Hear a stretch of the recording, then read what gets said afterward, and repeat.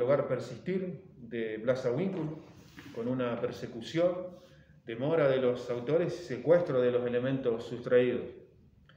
Ese día, luego de las 14 horas, eh, el director del establecimiento hace una llamada al comando radioeléctrico que da cuenta de que eh, le habrían sustraído elementos, que los autores se movilizaban en un auto, en un 307, y que al advertir ellos eh, que estaban siendo observados cuando cometían el ilícito, o sea, el director llegó al establecimiento y las personas se encontraban adentro, ah. se encontraban adentro y cuando ven que él está, se suben al auto y se dan a la fuga.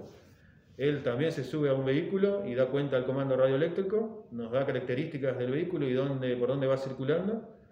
Lo observamos eh, por la ruta 17 a la altura del barrio norte. Al vehículo se inicia una persecución. Esta persecución eh, también temeraria, hicieron caso omiso a todas las, las, órdenes de la policía que detengan su marcha.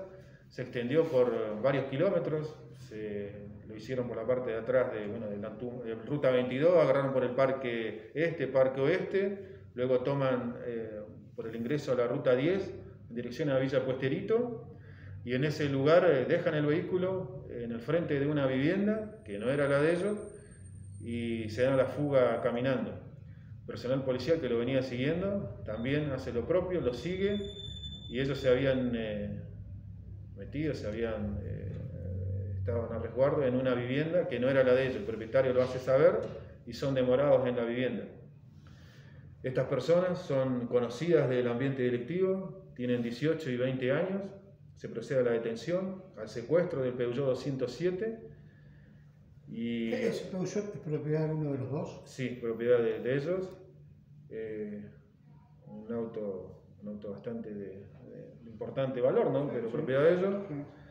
Eh, se habla con el director del establecimiento, no hace conocerlo, como dije al principio, cómo, cómo fue que tomó conocimiento de este hecho. Y bueno, me, olvidé de comentarles, pero en la huida ellos iban arrojando elementos del auto.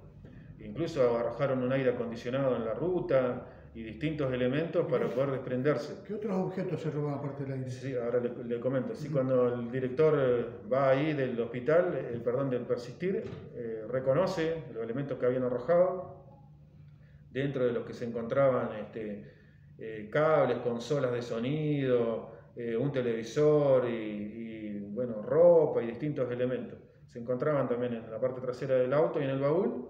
Esto producto de la requisa judicial que luego se pidió y se realizó. Las personas eh, fueron detenidas y se encuentran eh, detenidas en la comisaría sexta de Plaza Wing. Se, presume entonces que tuvieron bastante tiempo en ese lugar. Por las, por las cosas que llevaban en el, en el auto, la forma en que luego nos da nos da la pauta la requisa del vehículo, sí, tuvieron tiempo para guardarlas, para envolverlas Y, desconectar obviamente todos estos elementos. Eh, afortunadamente eh, no hubo que lamentar eh, ni un siniestro vial, recordemos que ellos pasaron por ruta 22, por el lugar y al horario, a las 2 de la tarde, de alta circulación, y tampoco hubo que lamentar alguna, algún efectivo policial lastimado. A alta velocidad. altísima velocidad.